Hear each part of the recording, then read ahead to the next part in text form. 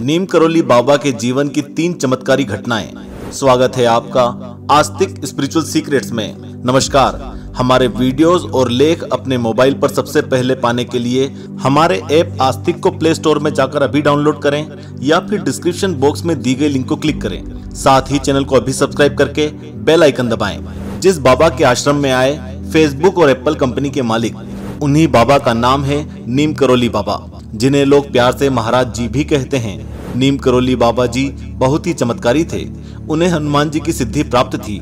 उनके भक्त बताते हैं कि वो हनुमान जी से बातें किया करते थे और अपने भक्तों को हर रोज कुछ ना कुछ चमत्कार दिखाते रहते थे।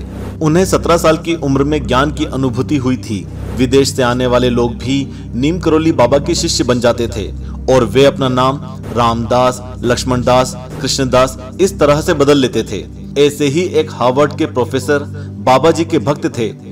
जिन्होंने अपना नाम रामदास रख लिया और पूरी ज़िंदगी इसी नाम से जाने गए। उन्होंने अपनी किताब में नीम करोली बाबा के चमत्कारों के बारे में और बाबा जी के साथ बिताए उन दिनों का सच्चा अनुभव लिखा है। नीम करोली बाबा एक ऐसे सिद्ध संत थे जिन्होंने अपने भक्तों को बहुत से साक्षात चमत्कार दिखाए। एक बार तो उनके बिना ट्रेन भी आगे नहीं बढ़ी। ऐसे हनुमान जी के अनन्य भक्त और सिद्ध संत नीम करोली बाबा जी के चमत्कारों की सच्ची कहानी सुनने मात्र से ही आपका जीवन धन्य हो जाएगा। ऐसे ही चौंकाने वाले छह चमत्कार आज हम आपके लिए लेकर आए हैं। पहला चमत्कार, एक बार नीम करोली बाबा जी के पास एक व्यापारी आया। बाबा जी ने उससे आश्रम में लगने वाली ईंटों के लिए दान मांगा, लेकिन वो आदमी बड़ा ही कंजूस था और उसने महाराज जी को यह कहकर मना कर दिया कि उसके पास कोई भी धन संपत्ति नहीं है।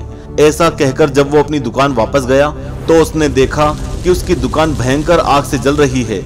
वो तुरंत महाराज जी के पास गया और बोले कि मेरी दुकान में आग लग गई है, मुझे बचाइए। तब बाबा जी ने कहा, तुमने तो बोला था कि तुम्हारी कोई संपत्ति नहीं है। व्यापारी बोला, बाबा जी मैं झूठ बोल रहा था।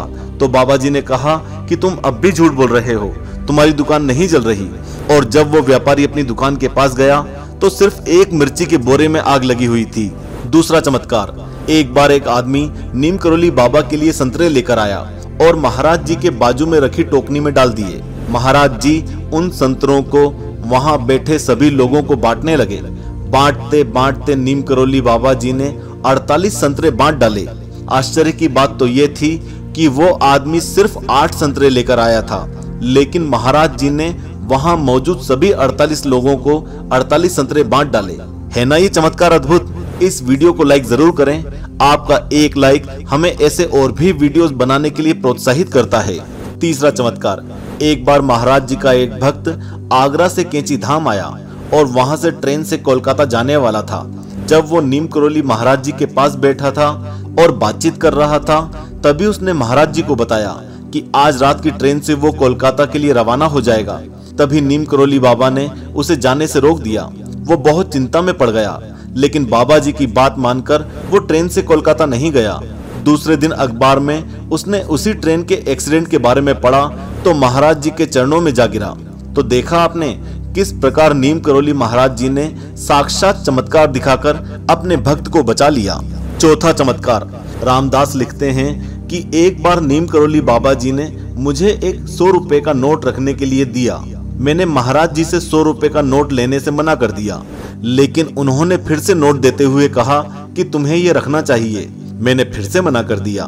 तो महाराज जी ने कहा, ठीक है तो फिर ये नोट मैं ही रख लेता हूँ। उसके बाद जब मैं वहाँ से चला गया तो मुझे वो सौ रुपए का नोट अपनी जेब में ही मिला।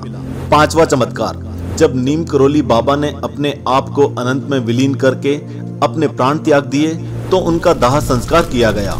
तब महाराज जी का एक अनन्य भक्त उनकी चिता के बाजू में बैठकर श्री राम, जय राम, जय जय राम का भजन रात भर करता रहा। सुबह उसने सभी को बताया कि उसे आग के ऊपर नीम करोली बाबा बैठे हुए दिख रहे थे और उनके एक तरफ़ श्री राम तो दूसरी तरफ़ महादेव थे और वो दोनों महाराज जी के ऊपर घी डाल रहे थे और उनके ऊपर सभी देवी देवता फूलों की बारिश कर रहे थे और सभी बहुत खुश थे। छठवा चमत्कार। दोस्तों, नीम करोली बाबा का नाम लक्ष्मी नारायण था।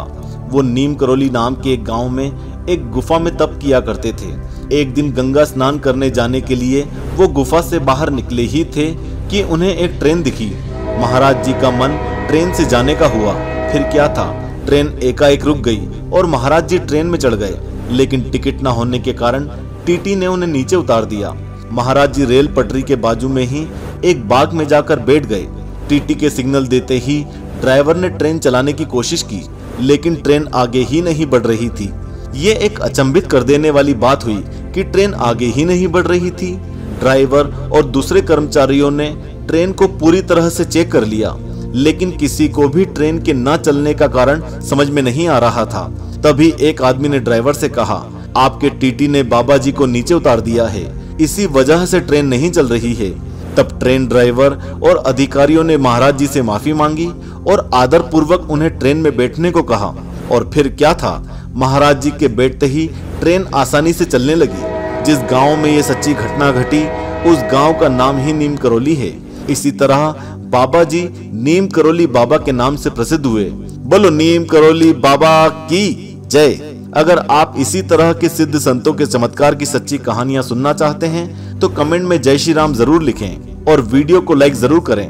हमारे धार्मिक कंटेंट से हमेशा जुड़े रहने के लिए हमारे ऐप आस्तिक को प्ले स्टोर से डाउनलोड करें, वरना आपको हमारे इंटरेस्टिंग वीडियोस नहीं मिलेंगे। जय श्री राम।